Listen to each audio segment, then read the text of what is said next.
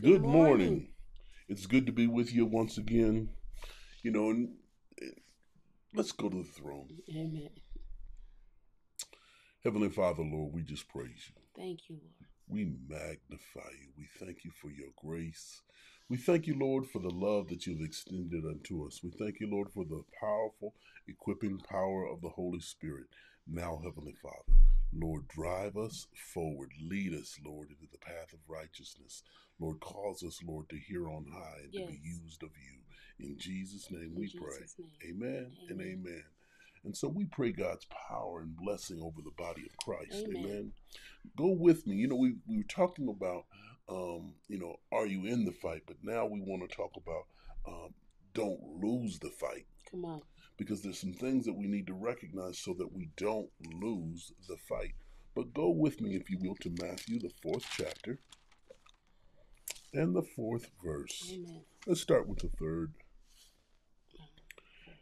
And Matthew 4, verse 1. When Jesus, then Jesus led up of the Spirit into the wilderness to be tempted of the devil, and when he had fasted forty days and forty nights, he was afterwards a hungered. And when the tempter came to him and said, If thou be the Son of God, command these stones to be made bread. But he answered and said, It is written, Man shall not live by bread alone, but by every word that proceedeth out of the mouth of God. By every word that proceedeth out of the mouth of God. You see, it's God's word that gives us a, you know, an, an, an offensive weapon. Amen. Mm-hmm. But you know what? This is the deal. You know, if you've ever watched sporting events, you know, there are people who pr- play not to lose and there are people who play to win. Amen. And when we when we play to win in the kingdom, we won't lose, if you will. You know, you you know, everything won't be perfect and every uh, in in our minds skirmish or battle may not go the way we want, but we need to know that we win in the end. Amen. And so, if someone was there to tell you that uh, everything was always going to go the way you want, they're not telling you the truth. Come on. Amen. you know, because God gives us the ability to stand and it gives us the ability to, to go through some things. But here, if you will, Jesus was being led, right, into the wilderness. And in, in, in, in other scriptures, it says that he was he was not only led, but he was driven, right?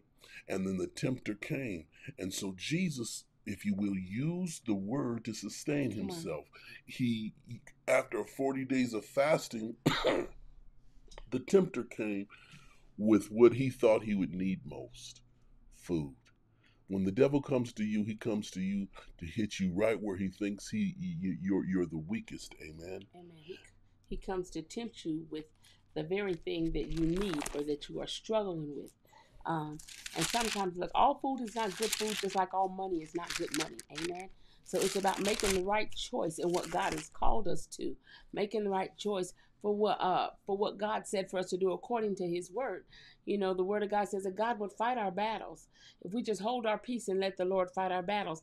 And sometimes we mess up because we don't hold our peace. We engage in an argument with the enemy. You don't have to argue with the enemy. You just got to speak the word. Amen.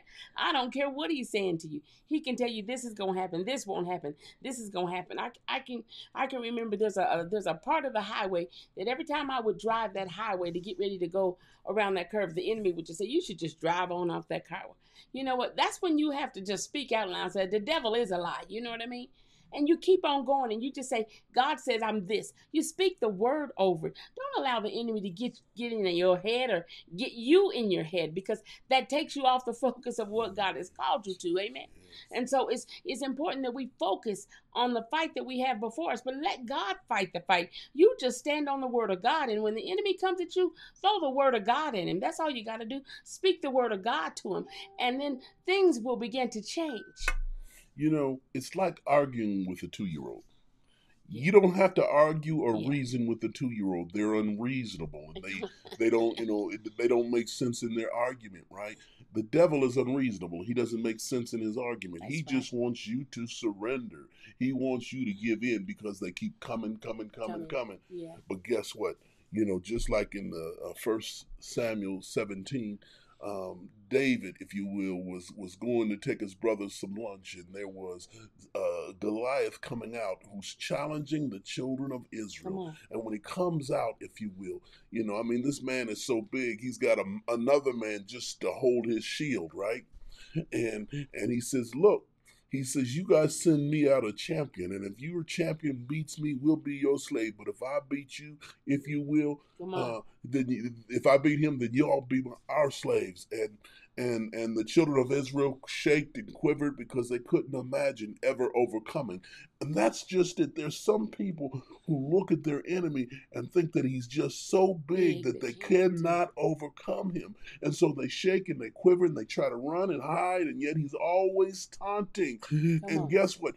David heard and David saw the response of his brothers and the other uh, men, and he said, Who is this uncircumcised on. Philistine? David came to the revelation that he recognized that God is bigger. Amen. And you know what? He didn't wait until the fight to get ready for the fight. He was already ready, even though he didn't know he was ready. He was training and getting ready Come in on. the in in in the, in the pasture with the sheep, if you will. He was training and getting ready in his everyday life. Yeah. So when the moment came, if you will, he didn't have to run. He didn't have to put on untried armor, on. but he just said, "Look, I am going to stand."